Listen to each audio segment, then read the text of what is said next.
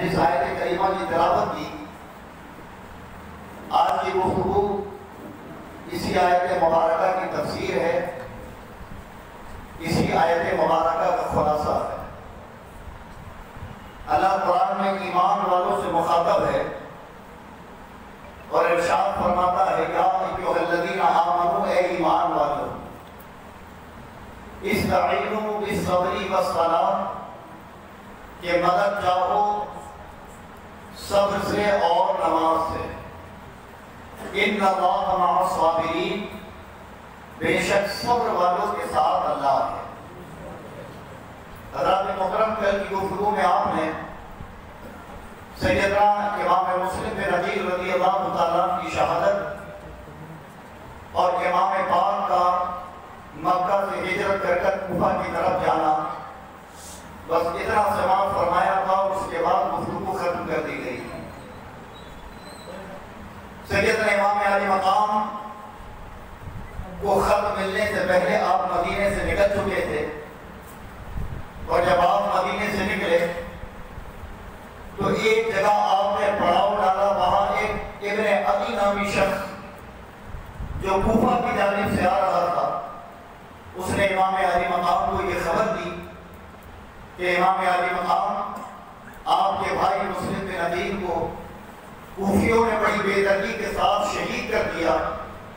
और हद तो यह है कि उनके दोनों नन्हे बच्चों को भी शहीद कर दिया गया है। वो अर्ज़ करता है कि आका मेरी आपसे गुजारिश है कि आप कूफा की जानिब ना जाएँ मैं चाहता हूँ कि आप मेरे गाँव चले जहाँ मैं आपको छुपाऊँगा लोगों से और जब हालात साजगार हो जाएँगे तो फिर आपकी मर्ज़ी आपको जहाँ जाना हो वो हमदर्द था अहल बैत का तो जब इमाम अली मकाम से उसने ये बातें की तो मेरे इमाम फरमाते हैं कि शख्स, शहादत मेरा मुकद्दर है और मैं यहाँ अपनी मर्ज़ी से नहीं आया हूँ, बल्कि लाया गया हूँ। अब मेरे साथ जो भी हो, मेरे लिए मेरा रब, हामी और नासिर और मददगार है। गोया इमाम अली मकाम ने उसका शुक्रिया अदा किया और उससे जब हालात तो उसने कहा कि, हुजूर, आपके मुकाबले के लिए एक ऐसी फौज खड़ी हुई है कि मेरी निगाहों ने इतनी बड़ी फौज ना कभी देखी और ना मैंने कभी इतनी बड़ी फौज का मुशाहिदा किया है जो आपके मद मुकाबले आने के लिए गुफा में तैयार है। गोया इमाम आली मकाम को वो तमाम बातें बताता गया, लेकिन मेरे इमाम ने अपने मुकद्दर को चुना और उस रास्ते पर अपने सफ़र को जारी रखा कि जिस जगह रब ने आपका मुकद्दर कर दिया था, इमाम आली मकाम का वो काफिला जो बहत्तर या बयासी लोगों पर मुश्तमिल है, उस जानिब जाने लगा, जिस जानिब की निशानदेही हयात जागिरी में मुस्तफ़ा जान रहमत ने फरमाई थी जंग सुफैन से जब मौला अली लौटे थे तो उसी जगह खड़े होकर फरमाया था कि यही वो मकाम है जहाँ मेरे बेटे हुसैन को बड़ी बेदर्दी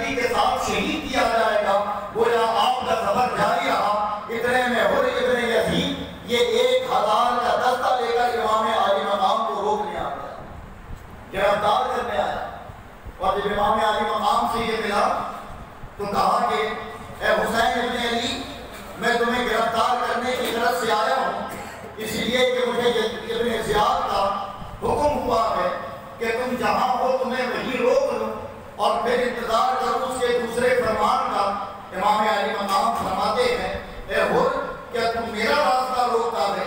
क्या मेरी फजीलतें तू नहीं जानता? क्या मेरी अजमतों से तू वाकिफ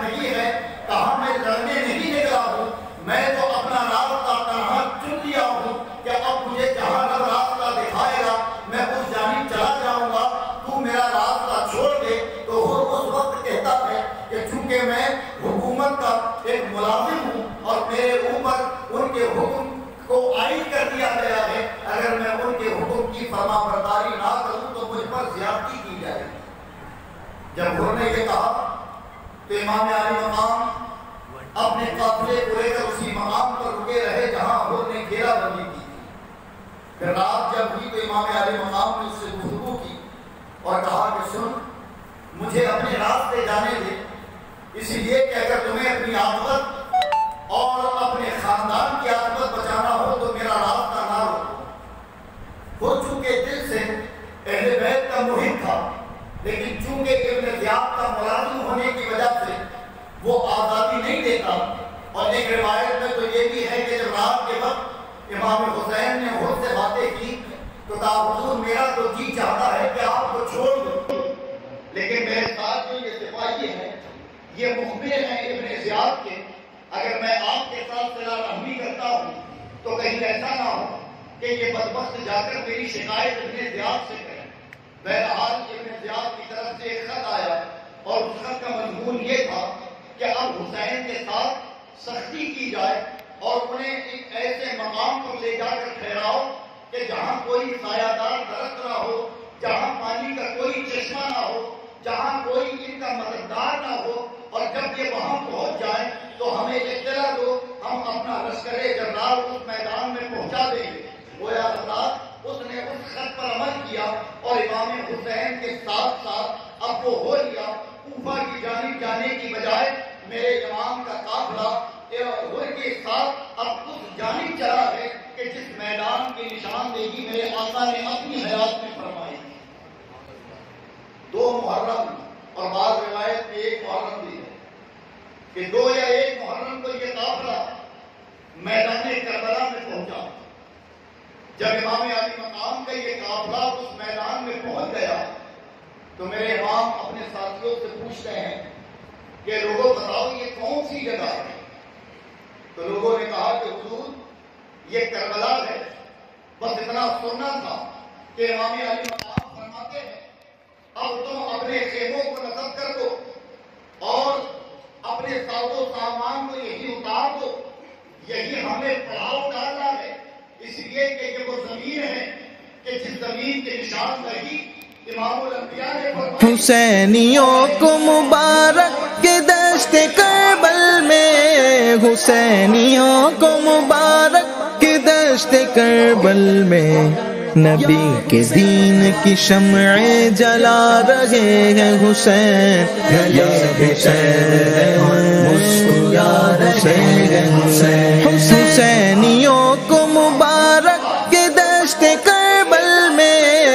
हुसैनियों को मुबारक के दस्ते करबल में नबी के दीन की श...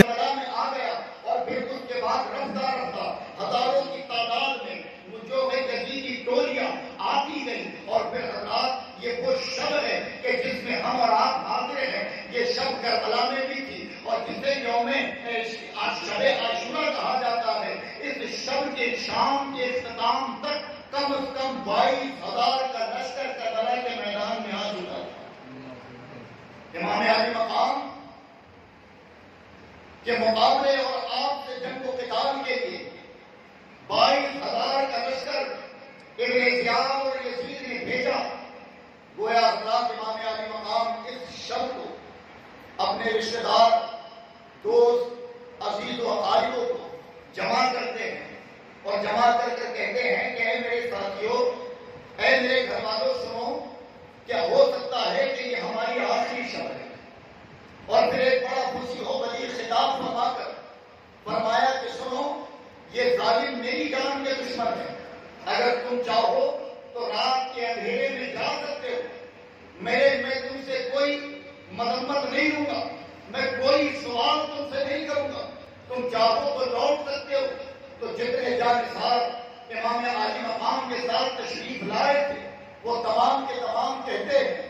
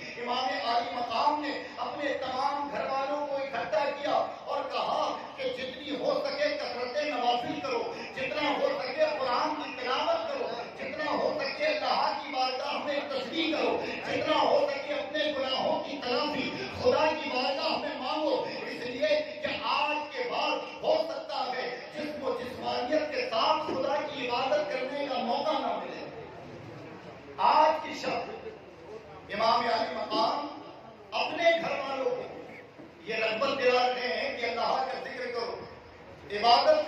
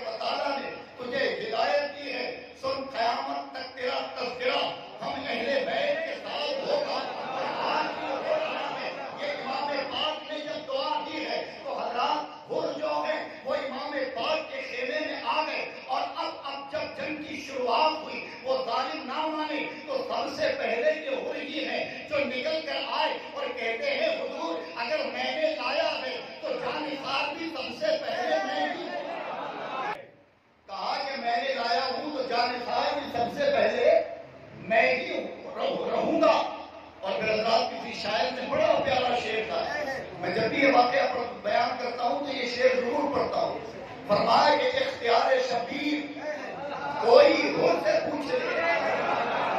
फरमाया इख्तियार शबीर कोई खुद से पूछ ले, एक जहन्नमी उछल कर खुद में आ गया। कि जिसका मुकद्दर जहन्नम बन चुका था, लेकिन ये इख्तियार था कि बस चंद फसी जुमलों ने उसे जन्नतियों की सफ में लाकर खड़ा कर दिया और फिर अफराद यही हुर है कि सबसे पहले ये जजीदियों के मुकाबले में गए और हुर कोई मामूली आदमी नहीं थे बल्कि जजीदियों को भी उन पर फख्र था कि अगर ये हमारे साथ रहे तो बड़े बड़े ताकतवर को पछाड़ सकते हैं लेकिन सुने जब गीदड़ों की फौज में थे तो ताकत का यह हाल था अब तो शेरों के साथ में खड़े हैं क्या होगा अब इजाज़त लेकर जब यजीदियों के सामने पहुँचे हैं और कहा है कोई जो आए और मेरा मुकाबला करे बड़ी जाफिदारी के साथ आपने जंग की न जाने कितने यजीदियों को वासिले जहन्नम कर दिया लेकिन हजरात यजीदियों का मामला ये होता था कि ये तरह तरह लड़ते और जब देखते कि इन पर कोई हावी हो चुका है तो फिर ये टोली दर टोली और हुजूम दर हुजूम अपने सिपाही उस आदमी पर मुसलत कर देते। हज़रत होर पर भी कई सिपाहियों को मुसलत किया गया और फिर उन्होंने इतने तलवार और इतने नेजे उनके जिसम पर मारे हैं कि हज़रत हुर अपने घोड़े से ज़मीन पर गिर पड़े और जब ज़मीन पर गिरे हैं तो इमाम पाक की तरफ़ अपने हाथ को उठाकर कहते हैं, "ऐ हुसैन इब्ने अली, कमाल है ना कि हुर ने आपके नाम पर अपनी जान कुर्बान कर दी है उम्मीद है कि जो जालतियाँ हुर ने आपके साथ की थी इसी के सदके बड़ोगे महशर आप तुझे नजात का पैमाना अदा कर देंगे और फिर हजरात इमाम पाक की तरफ़ देखते देखते हज़रत हुर इब्ने यजीद इंतकाल फरमा जाते हैं जामे शहादत आपने नोश फरमा लिया शहादत हुई है कि हज़रत हुर के बेटे भी थे जब बाप गया तो बेटे भी चले आए हज़रत हुर के बेटों ने देखा कि बाप शहीद हो गया गुलामों की पहली से निकल कर आकर आगे आए कहा इमाम हमें भी दे इजाज़त हम भी जाए इसीलिए कि अगर हम बच गए बरोजे महशर अगर मेरे बाप ने सवाल कर लिया कि मैंने तो अपने जुर्म की तलाफी हुसैन के नाम पर कुर्बान होकर कर ली थी तुमने क्या किया तो हम अपने बाप के सामने शर्मिंदा नहीं होना चाहते इमाम अली मकाम को कायल किया और ये दो नन्हे बच्चे भी पहुँचे और जाकर इन्होंने जामे शहादत नोश कर दिया हज़रत मोहतरम ये शहादतें इतनी सारी हैं कि अगर मैं तफसील से सबकी शहादतें बयान करूँ तो बड़ा सारा वक्त उसके लिए दरकार है सुने बहत्तर या बयासी नफूस बयान किए जाते हैं कि मैदान करबला में थे जिसमें औलाद अकील औलाद जाफ़र औलाद हसन औलाद इमाम हुसैन और उसके बाद कई सारे सहाबा के बेटे कुछ बुज़ुर्ग सहाबा और फिर उनकी औलादें करबला के मैदान में मौजूद थी और इनकी मोहब्बतें तो देखें कि जब तक ये गुलाम रहे अहले बैत के किसी चश्मो चिराग को इन्होंने करबला के मैदान में जाने नहीं दिया जब भी कोई शेर निकलता तो ये गुलाम अहले बैत आगे बढ़कर कहता, हुजूर, मैं हूँ। हमारे रहते हुए आपकी ज़रूरत क्या है? एक के बाद दिगर सब करबला में जाकर जामे शहादत नोश करते गए। और फिर हजरात, चूँकि इन पर बाईस सात मुहर्रम से बंद कर दिया गया था। तीन दिन के ये प्यासे भी थे। और फिर करबला की वो तपती हुई ज़मीन और वो धूप, गर्मी का मौसम और फिर घमासान की जंग हो रही है। सोचे सब इस्तकामत का हाल क्या होगा? एक के बाद शहीद हुए, अब बारी आई गुलशरे जहरा की, कि जिनके चमकते हुए चेहरे अगर कभी नजरान में चमके तो यहूदी कहें कि यहाँ से चलो, वरना दम खुलेंगे नस्लें तबाह हो जाएँगी। अब वो मैदान करबला में है, और करबला में जब इनकी बारी आई है तो शौक शहादत में कोई कहता है, पहले मैं जाऊँगा। कोई कहता है, पहले मैं जाऊँगा। लेकिन हजरात गिरामी सबसे पहले इमाम हसन की औलादें एक के बाद दिगरे गई और जाम शहादत नोश कर दी। लेकिन इमाम हसन का वो बेटा, जिसे इमाम हसन भी बड़ी मोहब्बत करते थे, इमाम हुसैन भी बड़ी मोहब्बत करते थे और हम शबी मुस्तफ़ा थे ये जिनका नाम कासिम इब्ने हसन है। जब हज़रत कासिम की बारी आई तो हज़रत कासिम अपने चचा हुसैन के पास गए और कहा, चचा, हम जितने जानिसार और गुलाम थे, सब तो शहीद हो गए। मेरे जितने भाई थे, सब तो शहीद हो गए। अब मुझे इजाज़त दे दे। हज़रत इमाम हुसैन फरमाते हैं, ए कासिम, मुझसे इजाज़त ना मांगो। क्या मैं तुम्हें मौत के मुँह में डाल दूँ? जबकि मेरी बेटी सकीना के साथ तुम्हारी ज़िंदगी है, उसके साथ तुम्हारा रिश्ता है मैं तुम्हें जाने नहीं दे सकता। इसलिए कि हसन की आखिरी निशानी, तुम ही मेरे पास बचे हो। जब इमाम हुसैन ने ये कहा तो एक रिवायत में है कि हज़रत कासिम ने अपने बाबू से एक ताबीज खोला। एक ताबीज निकाला और वो ताबीज खोलने के बाद इमाम अली मकाम को दे दिया। कहा, चचा, इसे पढ़ लें। उसमें लिखा ये था कि, ए कासिम, जब मेरा भाई हुसैन, करबला में हो और कोई पुरसान हाल ना हो तो वक्त पड़े तो उसके नाम पर अपना सब कुछ कुर्बान कर देना। कहा, चचा, ये वसीयत तो मेरे बाबा ने जीते जी कर दी थी। अगर आप मुझे जाने नहीं देंगे तो कल बरोजे में शर फिर मैं अपने बाबा हसन को क्या जवाब दूँगा? इमाम पाक अब कुछ ना बोल सके, अपने हाथों से तैयार किया, आपके हाथों में तलवार दी और शहादत का दूल्हा बनाकर आपको मैदान करबला उन्नीस का नौजवान है और सुने जिसकी शवाहत मुस्तफ़ा से मिलती हो, बताओ चेहरे की चमक का हाल क्या होगा? बताओ जब करबला में मुस्तफ़ा का वो नूर पहुँचा होगा तो फिर उसके नूर की हैबत का हाल क्या होगा? ने देखा और खुदी इब्ने शिमर लईन, ये की नज़र जब पर पड़ी तो कहा लोगों, देखो हसन का बेटा है अमर इब्ने साहब कहता है अरसद नामी एक पहलवान को, कि कहा, तुम जाओ इसके मुकाबले तुम इससे लड़ो। तो वो अरसद जवाब देता है कि, शख्स तो मुझे उस बच्चे से लड़ने को कहता है, कि जो अभी नौ उम्र है, कि जिसको तलवार चलाने का हुनर नहीं आता, जो जंग के दाव पेज नहीं जानता। क्या तू मुझे जानता नहीं कि मैंने बड़े बड़े महान फतह किए सैकड़ों लोगों पर तनहा भारी होता हूँ। तो अमीर ने साहब कहता है कि सुनो, तुमने सैकड़ों पर फतह हासिल की होगी, लेकिन ये आने वाला जो आ रहा है, ये बात है खैबर का पोता है। इसे मामूली ना समझना। कहा, मैं इससे लड़कर अपनी इज़्ज़त खराब नहीं करूँगा। इसके लिए तो मेरे बेटे ही काफ़ी हैं, और उसके चार बेटे थे। एक के बाद दिगरे अपने बेटे को पहुँचाया और हज़रत कासिम का हाल ये था कि एक बार में एक को मस्जिद जहन्नम कर देते, दूसरा आता, दूसरा बार ना पड़ता, एक बार करते, दूसरे को वासिले जहन्नम कर दिया, तीसरा आया, उसे वासिले जहन्नम कर दिया, चौथा आया, उसे भी वासिले जहन्नम कर दिया।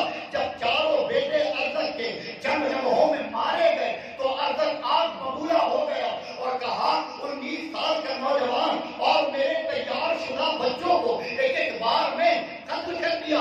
मारे गुस्से के अपने घोड़े पर बैठा और तलवार लेकर चीखता हुआ इमाम कासिम की तरफ़ बढ़ा है। जैसे इमाम कासिम के पास आया तो कहा, ए जवान, अब तेरी खैरियत नहीं। मैं अपने चारों बच्चों का तुझसे बदला लूँगा। इमाम कासिम मुस्कुराते हैं और मुस्कुराकर कहते हैं कि ताजुब है कि तू इतना बड़ा पहलवान और तुझे घोड़े की सीन कसने का शौर नहीं है। जब उसने ये कहा, इमाम कासिम ने, वो अपने घोड़े की सीन को देखता है। इमाम कासिम तलवार लेते हैं और उसकी गर्दन उसके तन से जुदा कर देते हैं। एक बार में वो ज़मीन पर आता है। हजरात इस पर कोई अक्ल लगा सकता है? क्या इमाम कासिम तो लड़कर भी मार सकते थे? फिर आपने ये क्यों कहा कि तू इतना बड़ा पहलवान और तुझे घोड़े की जीन कसने का शौर नहीं तो ये तो किसी को धोखा देना हुआ है ये तो किसी का दिमाग मकसद से फिराना हुआ और फिर उस पर वार करना हुआ तो गोया इमाम कासिम जवाब ये दे रहे हैं उसी अरसद का कि वो अरसद कह रहा था कि ये जंग के उसूल नहीं जानता इसे दाव पेश नहीं आते इसे उसूल और कवानी नहीं आते तो इमाम कासिम ने चारों को मारकर जंग का हुनर बता दिया और उसे कत्ल कर कर दीन की तरह मुतवज्जे कर कर उसके दाव भी बता दिए और करबला में ऐलान कर दिया कि लोगों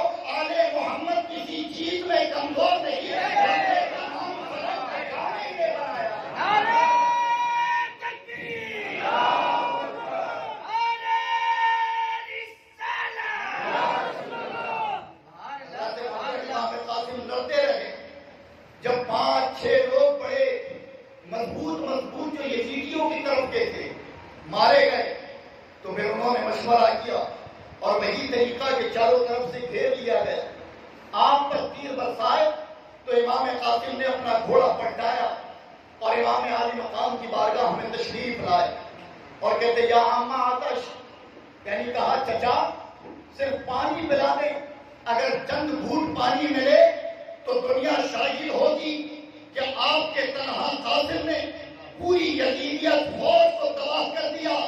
इमाम अली मकाम फरमाते हैं, ए अब हमारे लिए दुनिया का पानी नहीं है। दुनिया के पानी को हमने ठोकर मार की है।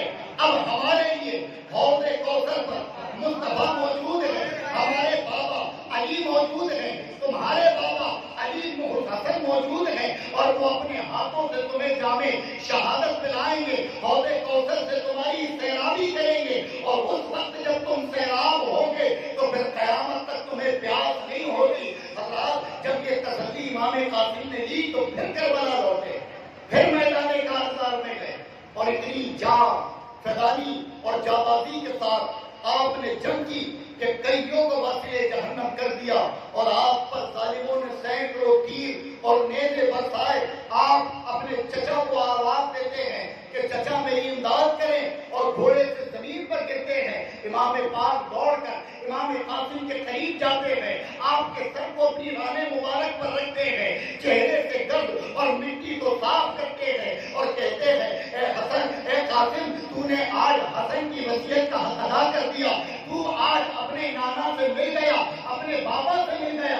और फिर चचा ने बड़े दिल पर पत्थर रखकर उनके लाशे को उठाया और खेमे के पास लाकर लेटा दिया।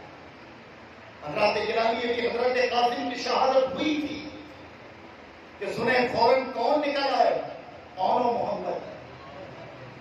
हज़रत कासिम की शहादत के बाद कौन मोहम्मद? की तरतीब है जो तरतीब शहादत की बयान की गई, वो ये तरतीब है कि जैसे ही कासिम की शहादत भतीजे खत्म हो गए तो भांजों ने चाहा कि अभी हम हैं। अभी हुसैन की आग का कोई चश्म आगे नहीं बढ़ेगा। और मोहम्मद, ये कम से उम्र के बच्चे नौ साल, दस साल की उम्र इनकी बयान की जाती है। और ये बेटे किसके हैं? सैयदा जैनब के बेटे हैं।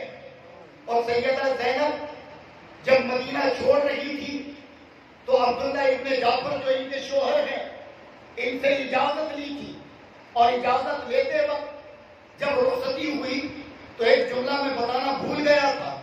इन्होंने एक जुमला अब्दुल्ला इब्ने जाफ़र ने कहा था, जो जाफ़र तैयार के बेटे कहा कि, जैनब, बेटों को तू ले जा, बेटी मेरे पास छोड़ जा। कहा इसलिए कि बेटियाँ बाप के पास रह सकती हैं, लेकिन बेटे माँ के बगैर नहीं रहते।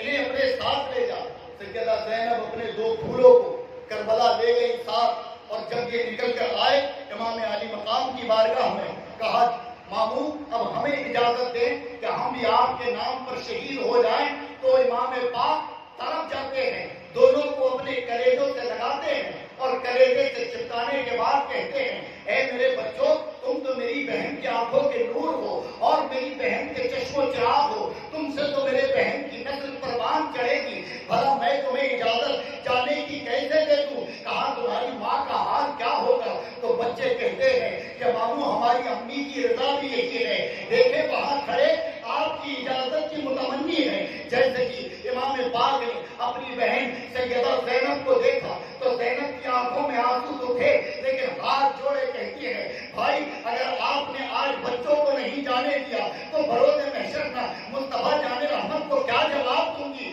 कि बच्चे मौजूद थे और हुसैन के नाम पर तूने कुर्बान ना किया मेरा ये छोटा सा तोहफा है, मेरा ये छोटा सा हदिया है। ए मेरे भाई, इसे कबूल कर ले।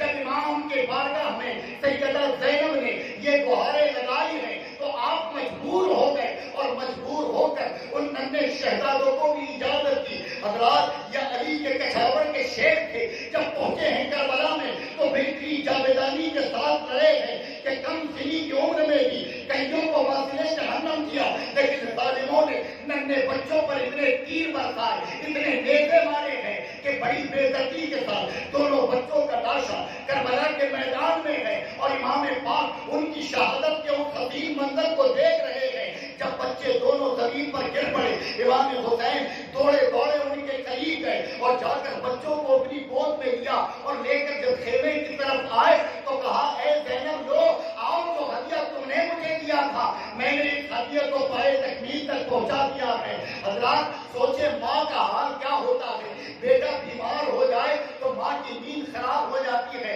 बेटा, अगर मरजुल मौत में गिरफ़्तार हो तो माँ खाना पीना छोड़ देती है। अगर बेटा किसी हादसे में फौत हो जाए तो माँ की ज़िंदगी उजड़ जाती है। लेकिन सलाम, ऐ सैयदा जैनब, तुम्हारी इस्तकामत पर क्या आपने बेटों को दीन देकर दीन मोहम्मदी की बका बचाई है? दीन मोहम्मदी की शान को किया है सैयदा जैनब ने अपने बेटों के करीब आई, आँखों में आँसू, दिल में गम का बड़ा तूफ़ान है, लेकिन लबों पर शिकवा नहीं है और फरमाती है ए खुदा तेरा शुक्र है तूने तो दो अता फरमाए थे अगर ऐसे हज़ारों भी होते तो तेरे नाम पर को नारे तकबीर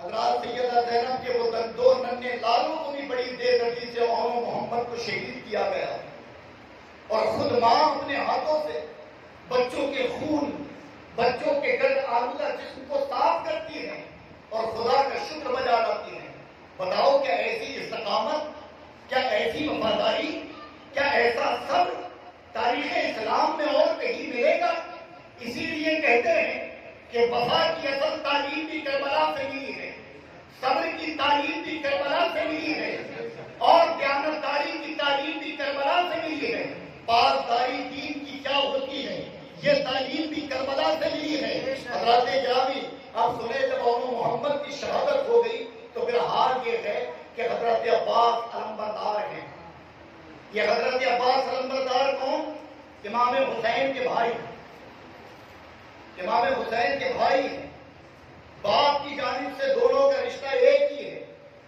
यानी हज़रत अब्बास भी अली के बेटे इमाम हुसैन भी अली के बेटे बस फ़र्क इतना है कि अब्बास की माँ फातिमा नहीं और हुसैन की माँ फातिमा है। जब सैदा फातिमा के विसाल का वक्त आया था तो खुद सैयदा फातिमा ने कहा था, ऐ मेरे सरताज, जब तक मैं तुम्हारी जोजियत में रही, तुमने कोई निकाह नहीं फरमाया। लेकिन मैं तुम्हें ये वसीयत करती हूँ कि मेरे फौत हो जाने के बाद तुम ऐसी बहादुर घराने की खातून से निकाह करना, ताकि उसके खानदान की बहादुराना जाओ हज़रत के शोरे और वो खुद बड़ी देर और बहादुर हो। तो मौला अली ने पूछा, ए फातिमा, मुझे बहादुर औरत और बहादुर खानवाले में शादी करने की रगबत क्यों दिलाती हो? तो आपने जवाब दी थी कि, सुने, जब मेरा बेटा हुसैन करबला में होगा और कोई इसका पुरसाने हाल ना होगा, अगर आप किसी बहादुर औरत से निकाह करेंगे तो उससे जो औलाद पैदा होगी, वो भी बहादुर होगी और हजरात उसी उसी बीवी से जो पैदा हुए हज़रत अब्बास है। इनका नंबर आया था जाम शहादत का, लेकिन हजरात इनका तरीका क्या था कि इन्होंने शहादत सिर्फ़ और सिर्फ़ अपने इख्तियार को बताकर अपनाई है। अपनी ज़रूरत को बताकर अपनाई है। जब हज़रत अब्बास अलम्बरदार की शहादत का वक्त करीब आया तो इन्होंने घर का जायजा लिया कि जितने जानिसार में शहीद हो चुके हैं, भतीजे शहीद हो गए, भांजे शहीद हो गए हुसैन के दो तीन बेटे अभी करबला में मौजूद हैं। एक अली असगर, एक अली अकबर, एक जैनुल आबिदीन अभी ये तीन मौजूद हैं और फिर जवानों में अली अकबर के अलावा कोई नज़र नहीं आता। बीमार जैनुल आबिदीन है, नन्हे अली असगर के जो अभी शीर खार है, इमाम अब्बास अलमबरदार ने जब अपने खेमों का जायजा लिया तो देखा कि जितने भी शहीद हुए सब पानी की तलब में कि उन्हें पानी मिलता तो यजीद तबाह हो जाते, आपने यह अज्म उठाया कि पानी मैं लाऊँगा। मछली ला लिया अपने घोड़े पर सवार हुए, और जैसे ही निकले तो सैयदा जैनब पुकार कर इमाम आली मकाम को बुलाती है और कहती है, भाई, देखे कि भाई अब्बास नहरे फुरात की तरफ़ बढ़ते हैं। इमाम आली मकाम करीब आए और आने के बाद कहा, अब्बास तुम तो मेरे बापू हो। अगर तुम्हें कुछ हो गया तो मेरी कमर टूट जाएगी। फिर मैं निढाल हो जाऊँगा। खुदा तुम ना जाओ। कहा ये नन्हे बच्चों का प्यास से बिलकना ये पर्दा नशी खवातीन का प्यास से तड़पना, अब अब्बास से गवारा नहीं होता। मैं जाऊँगा, पानी लाऊँगा, ताकि बरोदे महशर, अगर मुझसे सवाल हो तो मैं कह तो सकूँ कि मैंने कोशिश तो की थी, लेकिन मशीयत इलाही कुछ और थी। आपने इजाज़त मांगी। इमाम आली मकाम ने आपको इजाज़त दी और अब्बास अलमबरदार निकले। अब कहा? नहरे फुरात की तरफ़, जहाँ कम से कम एक हज़ार सिपाही खड़े हुए थे। एक हज़ार सिपाही नहरे फुरात के किनारों पर है कि कोई एक कतरा पानी न ले जाए। इसलिए ये इन्हें भी डर था कि अगर खेमाए हुसैन में पानी पहुँच गया और हुसैन के आशिकों ने पानी पी लिया तो फिर हमारी खैर नहीं। पूरी ताकत नहरे फरार पर अब्बास लंबरदार निकले। वो वैसी देख रहे हैं कि अब्बास आ रहे हैं आपस में चीमे गोइयाँ शुरू हो गई कि लोगों सुनो ऐसे हमले इन पर करना कि ये किसी भी एवं नहर फराब के साहिल पर ना पहुँच पाए अगर इन्हें पानी मिल गया तो सुने ये तनहा काफ़ी है हमारी फौज को जेर करने के लिए अब्बास अलमबरदार जब निकले हैं तो जालिमों ने हर तरफ़ से आप पर हमले किए लेकिन आप हर हमले को रोकते हुए नहरे फुरात पर पहुँचे आप साहिल पर पहुँच भी गए आपने पानी भर भी लिया और खुद भी तीन दिनों के प्यासे हैं पानी का दरिया बह रहा है अपने चुल्लू में पानी उठाया और फिर दिल हुआ कि इसे लबों से लगाऊँ लेकिन अली असगर का तड़पना याद आ गया और प्यासे जो शहीद हुए हैं उनकी प्यास याद आ गई तो आपने अपने अपने हाथ के पानी को दरिया में छोड़ दिया और नहरे फरात को वहाँ उसकी औकात बढ़ा कर आए कि सुन हम तेरे मोहताज नहीं है तू हमारी मोहताज है हम अगर चाहते तो हमारे कदमों से तू निकलती लेकिन हमने तुझे पाकर भी ठुकराया है ये इख्तियार बताना था हजरात ग्रामी चले आए अब्बास अलमबरदार पानी का मशीदा लेकर और फिर हजरात एक और बड़ी प्यारी बात कहती क्या कि क्या इमाम हुसैन को नहीं मालूम था कि अब्बास पानी नहीं लाएँगे मालूम था कि नहीं क्या इमाम पाक को नहीं मालूम था कि इसी सफ़र में ये शहीद हो जाएँगे फिर ये वाकई असल में है क्यों जब पानी को ठुकराया था पानी की ज़रूरत ही ना थी तो फिर नहरे फरात तक जाने की मशक्कत क्यों? नहरे फरार तक जाने का इल्म क्यों उठाया? क्यों अपने आप को खतरे में डाला? तो गोया अगर अक्ल लगाए तो पता चलता है कि कोई अक्लमंद ये ना सोच सके कि हम पानी नहीं हासिल कर सकते थे। गोया अब्बास अलमबरदार ने बताया, हमारे अंदर ज़रूरत ये कि हमने पानी को हासिल नहीं कि पानी की हमारे सामने कोई हैसियत नहीं महज ये इसलिए था कि आपको इख्तियार भी बताना था और पानी से जो बेरगबती थी, उसको जो ठुकराया था, वो भी बताना था। हज़रत अब्बास अलमदार ने मशीला भरा, फिर घोड़े पर सवार हुए। अब चले आप लौट आए, अपने खेमे की तरफ़, और बड़ी रफ्तार से आप आ रहे हैं। आपका ख्याल तो ये था कि काश इस घोड़े को पर लग जाए ये उड़कर खेमाए हुसैन तक पहुँच जाए, ताकि बच्चों को सैराब कर दूँ। लेकिन मशीयत खुदा कुछ और थी। जालिमों ने तीर और नेजों की बारिश की। आपको इतने तीर मारे गए कि पूरा जिस्म लहू लुहान हो गया। जिस घोड़े पर आप थे, वो भी कई जख्मों से अपने आप को निढाल कर चुका था। लेकिन उसकी भी वफादारी कि वो भी साथ नहीं छोड़ता है। इमाम अब्बास के साथ वो खेमे की तरफ़ बढ़ता चला जा रहा है। हज़रत ग्रामी, एक जालिम ने ऐसा तीर मारा कि जो जाकर मशीदे पर लगा और मशीदे का पानी बहना शुरू हो गया मशीदा खाली हो गया, आपकी नज़र उस तरफ़ पड़ी, एक जालिम ने हाथ पर वार किया, आपका एक हाथ काटा, दूसरे ने दूसरे पर वार किया, दूसरा हाथ काटा तो आपने मशीदे को अपने मुँह में दबाया और फिर एक जालिम ने पीछे से सर पर नेजा मारा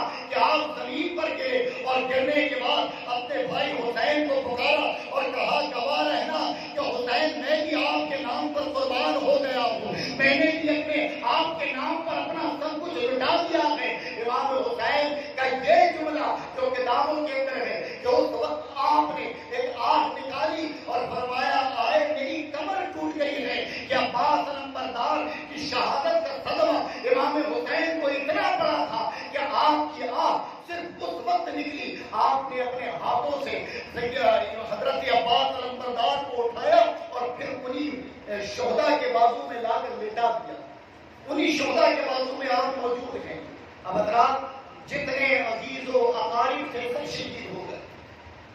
अब थी इमाम हुसैन के रखते जिगरों की बारी। तो जिसमें अली अकबर आए और कहा, अब्बा, अब तो कोई नहीं मेरे अलावा। मुझे इजाज़त दे दे। बताएँ बाप बेटे को जब इजाज़त दे तो हाल क्या है?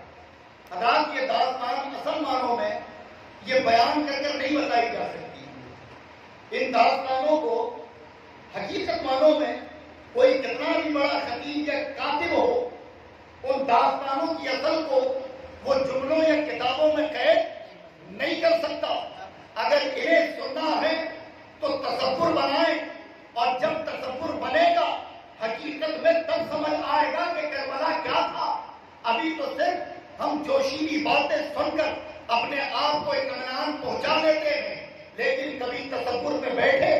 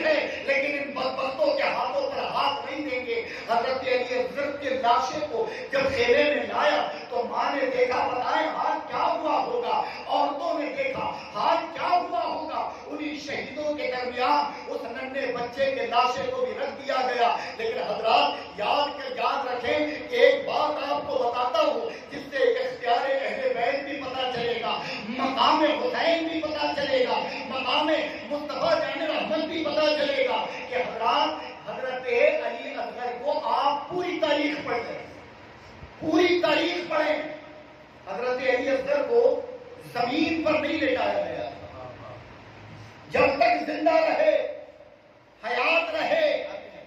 ज़मीन पर नहीं लेटाया गया। कभी सैयदा जैनब की गोद में, कभी उम्र रुबाब की गोद में, कभी शहरबानों की गोद में, कभी किसी और की गोद में।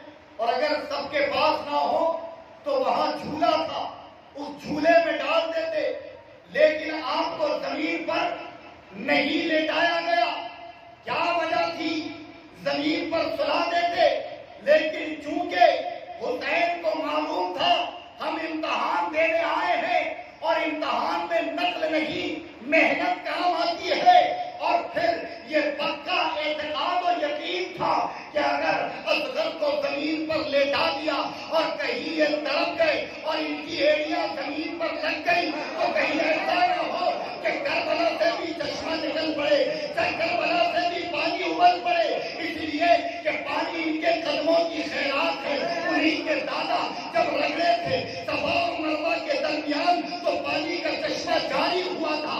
उसी के चश्मो चिराग का एक अदना गुलाम जब अजमेर में आकर पानी को बुलाए तो चला आए। अगर अगर एरिया लगन देते तो दुनिया में पानी ही पानी होता। इसीलिए ज़मीन पर नहीं ले गया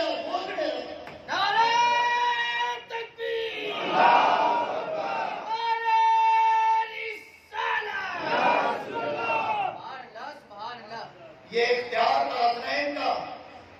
का और इसमें क्या थी? क्या थी कि था कि रब हम तो नहीं करते पानी का? हमें तो नहीं चाहिए पानी। लेकिन ये बच्चा है, अगर इसने एरिया रगड़ दिया तो फिर क्या होगा? तो हजरात चूँकि पानी को जो तर्क करना था ना, वो ऐसा कि ये भी गवारा ना किया कि असगर को ज़मीन पर लेटाया जाए, कि असगर के ज़रिए कहीं पानी मिले। हज़रत अली असगर ने भी जाम शहादत नोश कर लिया और अब आई इमाम अली मकाम सैयदुलशोहदा की बारी, जब देखा कि खेमे में सन्नाटा है, सिवाय औरतों के और बीमार जैन आबिदीन के, अब कोई नहीं बचा है। इमाम अली मकाम ने अपने तमाम खेमे पर नज़र डाली और नज़र डालने के बाद फिर अपनी जिला पहनी अपनी तलवार उठाई। सैयदा जैनब ने देखा कि भाई तैयार हो रहे हैं। तो जो बाजू बंद थे, वो अपने हाथों से बाँध रही। जरा की जंजीरों को कस रही है। अमामा खुद ने पहनाया और सैयदा जैनब अपने भाई से कहती है कि भाई, क्या आप मुझसे राज़ी हैं? इमाम पाक से जब ये सवाल हुआ तो इमाम हुसैन फरमाते, मेरी बहन, तुझसे कौन राज़ी ना होगा? तेरी रजामंदी का हाल तो ये है कि मैं तो मैं अर्श के फरिश्ते तेरे मुकद्दर पर रश्क करते हैं। फिर सैयदा जैनब ने क्या किया? अपने भाई के हाथों को चूमा। हाथों को चूमने के बाद गले को चूमा। गले को चूमने के बाद पेशानी का बोसा दिया और चिमट गई। और कहा कि हमारा हाल क्या होगा? इमाम पाक ने अपनी बहन के हाथों का बोसा दिया, पेशानी का बोसा दिया, सर के बालों पर ऊपर ये दिमाग पर बोसा दिया और देने के बाद दोनों भाई बहन आपस में एक दूसरे को देख रहे हैं अचानक सैयदा जैनब ने पूछा भाई इससे पहले आपने मेरा इस्तकबाल किया है पेशानी का बोसा लिया मेरे हाथों को चूमा लेकिन आज सर को क्यों चूमा है तो फरमाते हैं इमाम पाक कि मुझे मालूम है ए मेरी बेटी जब ये तालिम मुझे शहीद कर देंगे तो फिर इसी पेशानी के बालों को पकड़ेंगे और इसी से चादरों को छीनेंगे और तेरे इन्हीं हाथों में जंजीर बांधेंगे और तुझे ऊँट और घोड़ों की नंगी पीठ पर बिठाया जाएगा। कहा, तूने मेरे गले को चूमा क्यों है? तो फरमाती है, मुझे भी मालूम है कि ये जालिम आपके गले को काटेंगे। ये वही कला है जिसे मुस्तफ़ा चुमा करते थे जिसका मुस्तफ़ा पोता लेते थे हजरात, अब अली के शेर इमाम हुसैन है। जुल्फकार हैदर करार लेकर शहजादे बने हैं शहादत के। और फिर दुलजना पर आप तशरीफ़ फरमा हुए, उस घोड़े पर बैठकर जब आप मैदान करबला की तरफ़ निकले हैं यजीद आपस में सोच रहे थे कि ये हिम्मत हार चुके हैं। तीन दिन की भूख, प्यास और इतनी लाशों ने इनका हौसला तोड़ दिया है। अब ये हमारा कुछ नहीं बिगाड़ पाएँगे। हम इसे को इन्हें बहुत जल्दी पस्त कर देंगे। लेकिन हजरात तो ये भूल गए थे कि रगों में अली का खून है, फातिमा के दूध की तासीर है। जब करबला में इमाम पहुँचे हैं और अपनी तलवार को जब आपने लहराया है तो हाल ये है कि उनकी दरों में कोराम मच गया और सैकड़ों की तादाद में बातिले जहन्नम कर दिया।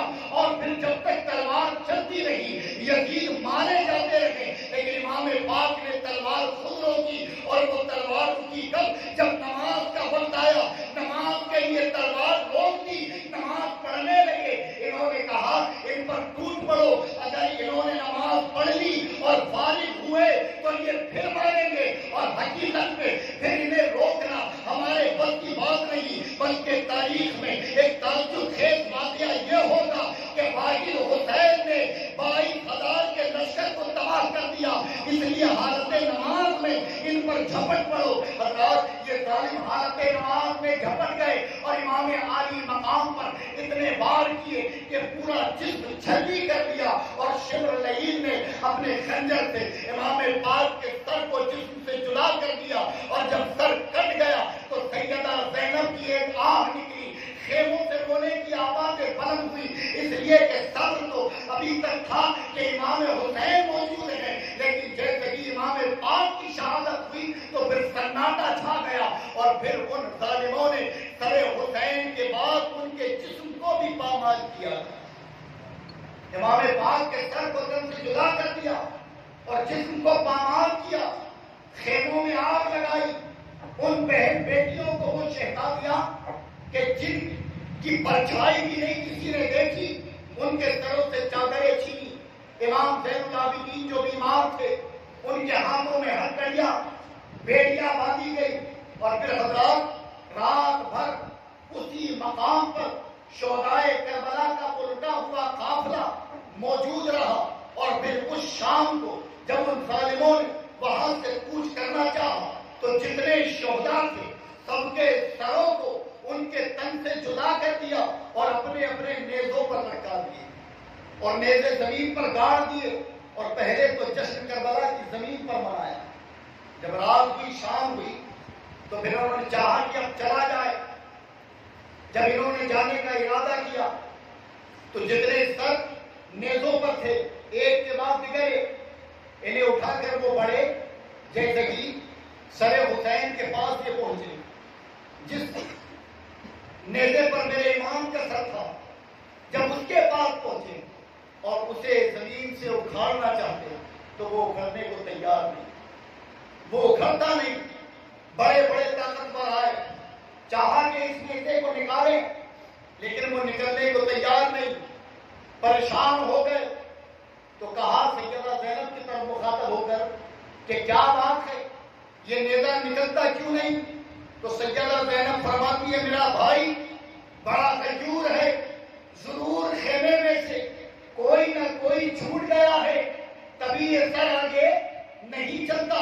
जब खेमे पर नज़र डाली तो सैयदा सकीना मौजूद नहीं थी।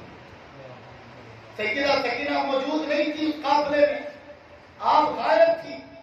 कहा सुने ये सर, उस वक्त तक ना उठेगा जब तक एक एक फर्द को जमा न कर लिया जाए। सैयदा सकीना को ढूंढा गया तो देखा कि आप उसी मैदान करबला में अंधेरे में एक जगह बैठे। सिस्कियाँ ले रही हैं। रो रही हैं। सैयदा जैनब जब उनके करीब गई तो देखा तो कोई नहीं। उठाया, लेकर चली आई। कहा, बेटा, तुम्हें यहाँ लाया किसने? तो कहा खूबी में, आप भी लोगों के करीब थी कि पीछे से एक पर्दा नशी खातून ने मेरा हाथ थामा और मुझे पीछे की जानब ले गई और वहाँ मेरा सर अपनी गोद में रख लिया और मुझसे पूछ रही थी ए सकीना बता कि अली अकबर को कैसे शहीद किया गया। ये बता कि कासिम को कैसे शहीद किया गया। ये बता कि उमर मोहम्मद और अली असगर को कैसे शहीद किया गया।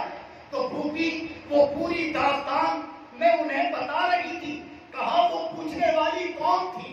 कहा मैंने उनसे जब पूछा तो जवाब दिया था, ए बेटी, मैं तेरी दादी सैयदा फातिमा हूँ जो सुबह से लेकर शाम तक आज मैदान करबला में मौजूद तो रही, लेकिन तेरी बेगती मुझसे देखी न गई। मैंने चाहा कि तेरे दिल का दर्द कम करूँ तो हजरात जब सैयदा जैनब ने ये सुना तो आप तरफ़ उठी और कहा, माँ, आपने देखा कि इन जालिमों ने आपके नस्ते जिगरों के साथ क्या हाल किया? आपके नस्ते जिगरों को कितनी अजियतें पहुंचाई हैं? सैयदा जैनब की हिचकिया बन गई कि माँ का नाम आ गया है और मेरा हजरात इस लुटे हुए काफिलों के काफिले को लेकर उन बदबस्तों ने जो है, जो तमाशे किए हैं और शहादत के बाद जो मामला हुए हैं इन शाह अगर ताकत दी और ज़िंदगी दी तो कल मैं आपको वो पूरे वाकत बड़ी तफसील के साथ आपके वो गोशेगुजार करूँगा। अल्लाह तबारक मतलब से दुआ है कि हमें अहले बैत का सदका अदा फरमाए, अहले बैत की सच्ची मोहब्बत अदा फरमाए। अस्तक अस्तफिरुल्लाह रब्बी मिन कुल्ली